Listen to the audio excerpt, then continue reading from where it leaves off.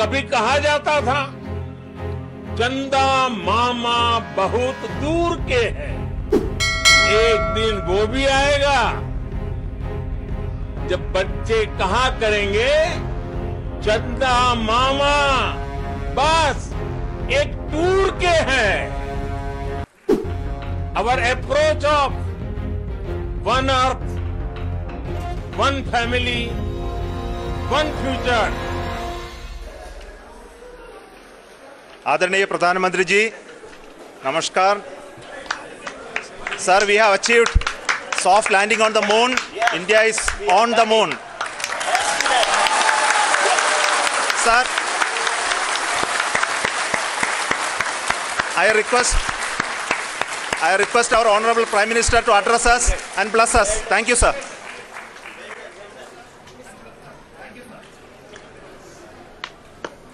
मेरे प्यारे परिवारजनों, जब हम अपनी आँखों के सामने ऐसा इतिहास बनते हुए देखते हैं तो जीवन धन्य हो जाता है। ऐसी ऐतिहासिक घटनाएँ राष्ट्र जीवन की चिरंजीव चेतना बन जाती है। ये पल अविस्मरणीय है। ये क्षण अभूतपूर्व है। ये क्षण विकसित भारत के शंखनाद का है। ये क्षण नए भारत के जयघोष का है। ये क्षण मुश्किलों के महासागर को पार करने का है। ये क्षण जीत के चंद्र पथ पर चलने का है। ये क्षण 140 करोड़ धड़कनों के सामर्थ्य का है। ये क्षण भारत के उदयमान भाग्य के आह्वान का है। अमृत काल की प्रथम प्रभा में सफलता की ये अमृत वर्षा हुई है। हमने धरती पर संकल्प लिया और चाँद पर उसे साकार किया। और हमारे वैज्ञानिक साथियों ने भी कहा, India is now on the moon. आज हम अंतरिक्ष में नए भारत की नई उड़ान के साक्षी बने हैं। साथियों, मैं इस समय ब्रिक्स समिट में हिस्सा लेने के लिए दक्षिण अफ्रीका में हूँ। लेकिन हर देशवासी की तरह मेरा मन चंद्रयान महाअभियान पर भी लगा हुआ था। नया इतिहास बनते ही हर भारतीय जश्न में डूब गया है।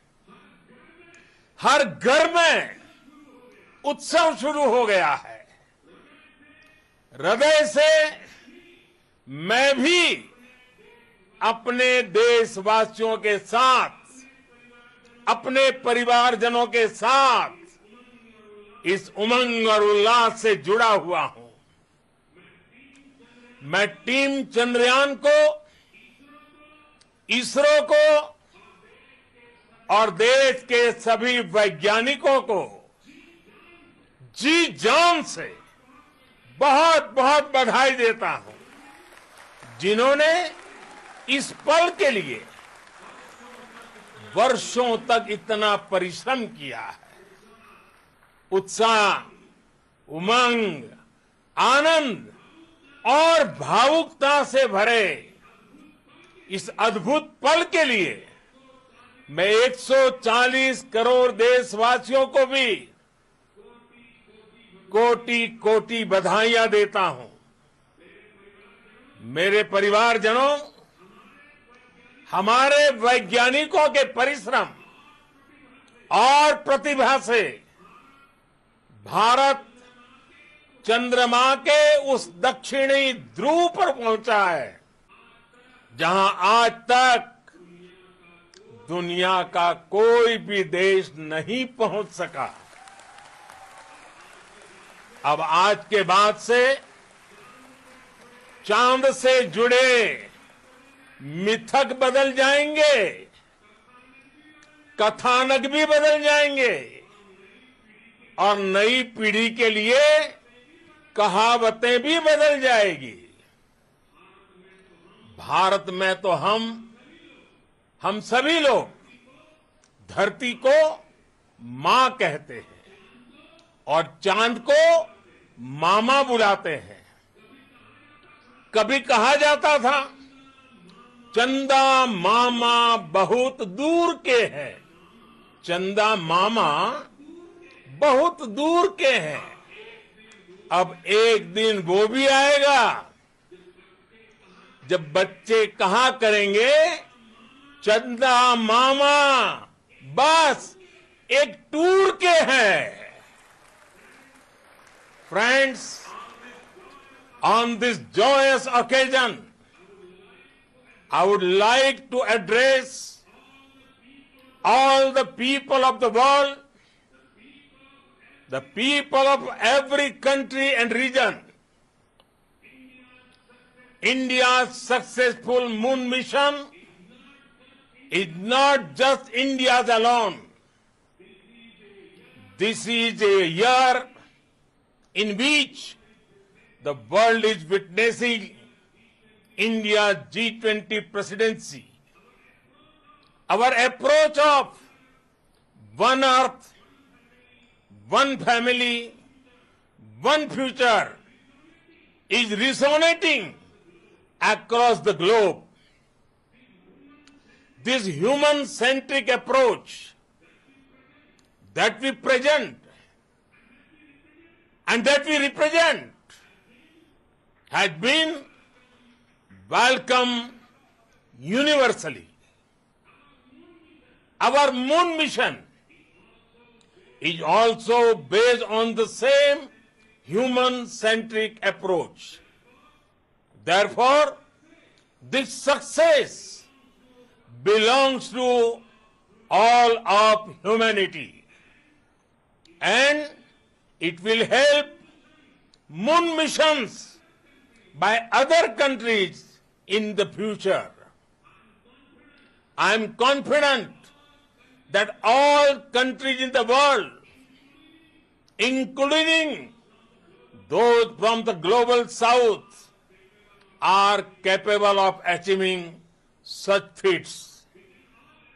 We can all aspire for the moon and beyond.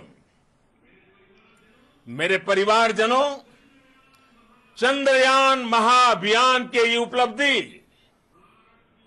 Bharat की उड़ान को चंद्रमा की कक्षाओं से आगे जाएगी।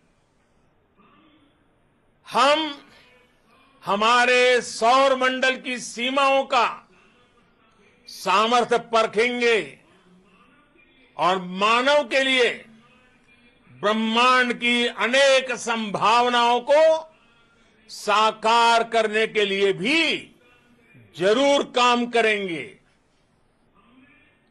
हमने भविष्य के लिए कई बड़े और महत्वाकांक्षी लक्ष्य तय किए हैं।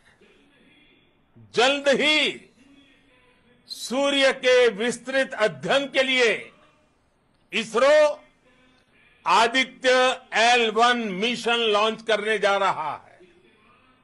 इसके बाद शुक्र भी इसरो के लक्ष्यों में से एक है। गगनयान के ज़रिए देश अपने पहले ह्यूमन स्पेस फ़्लाइट मिशन के लिए भी पूरी तैयारी के साथ जुटा है। भारत बार बार ये साबित कर रहा है कि sky is not the limit साथियों साइंस और टेक्नोलॉजी देश के उज्जवल भविष्य का आधार है। इसलिए आज के इस दिन को देश हमेशा हमेशा के लिए याद रखेगा। यह दिन हम सभी को एक उज्जवल भविष्य की ओर बढ़ने के लिए प्रेरित करेगा। ये दिन हमें अपने संकल्पों की सिद्धि का रास्ता दिखाएगा। ये दिन इस बात का प्रतीक है कि हार से सबक लेकर जीत कैसे हासिल की जाती है। एक बार फिर देश के सभी वैज्ञानिकों को बहुत बहुत बधाई और भविष्य के मिशन के लिए ढेरों शुभकामनाएँ। बहुत बहुत धन्यवाद।